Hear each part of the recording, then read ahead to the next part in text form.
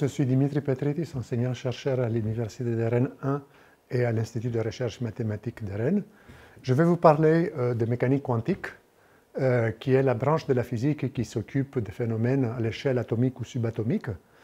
Euh, malgré le fait que toutes les prédictions de la mécanique quantique ont été vérifiées expérimentalement tôt ou tard, certains paraissent très paradoxales si on les interprète avec notre intuition classique. Euh, ce qui nous a appris euh, euh, von Neumann, c'est que la mécanique quantique est une généralisation de, des probabilités classiques. Par exemple, il existe des dispositifs optiques qui sont les séparateurs de faisceaux polarisants, qui se présentent comme des petits cubes transparents avec des prismes collés en opposition. Euh, lorsqu'un photon avec polarisation alpha entre dans, euh, le cube, il est euh, soit transmis avec probabilité P, soit réfléchi avec probabilité M-P. Et le paramètre P est calculable en termes de alpha. Donc si alpha, par exemple, est pi sur 4, P est exactement 1,5. Et donc ça, c'est un pile ou face honnête.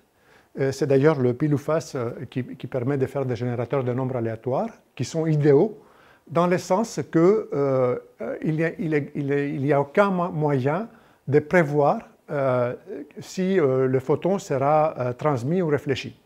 L'aléa quantique est un aléa intrinsèque et irréductible. Mais ce n'est pas tout à fait de l'aléa classique. Si c'était de l'aléa classique, on répétait l'expérience, on aurait euh, euh, une équirépartition sur les quatre possibilités, euh, quatre configurations possibles. Tandis que si on répète l'expérience ici, on a une concentration, une équidistribution sur les deux de quatre configurations possibles. Tout, tout se passe comme si la pièce, une fois qu'elle a donné pile, elle donne pile tout le temps, elle devient totalement biaisée. Einstein, Podolsky et Rosen en 1935 ont refusé d'admettre le caractère euh, intrinsèque et irréductible de l'aléa quantique et ils ont proposé euh, une expérience de pensée pour mettre en évidence euh, que le formalisme quantique prévoit des corrélations non locales et donc qui est incomplet.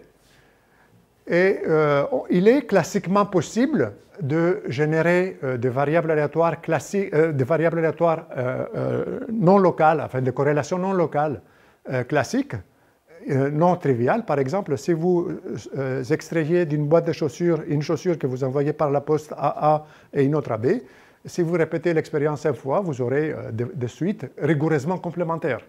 Et il n'y a aucun paradoxe parce que la loi conjointe, ce n'est pas une loi produit, et la non-localité, c'est parce que vous envoyez par la poste. en, quantique, les, choses sont un peu plus compliquées. Vous pouvez préparer un couple de photons dans un état intriqué qui est l'analogue quantique euh, de euh, euh, l'état de probabilité conjointe non produit, vous envoyez un photon du couple AA qui, qui, le fait passer dans son séparateur de faisceaux, il obtient 50% pile ou face. La même chose pour B. Et maintenant, si vous regardez l'expérience en entier, les deux observateurs ont deux suites aléatoires rigoureusement complémentaires.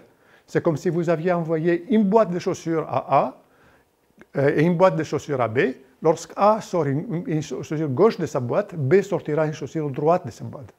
Donc ça, c'est euh, une, histoire mouvementée pendant le XXe siècle, euh, avec le point culminant, l'expérience d'Orsay, qui a été réalisée par euh, Aspect, Dalibar et, Roger, qui ont mis en évidence que ça, ce n'est pas un paradoxe, c'est un phénomène naturel. La nature se comporte comme ça. Euh, et euh, cette expérience a été euh, confirmée en 2015 à Delft. Et aujourd'hui, on se sert de ces phénomènes pour faire de la cryptographie, de la communication ou de l'informatique quantique.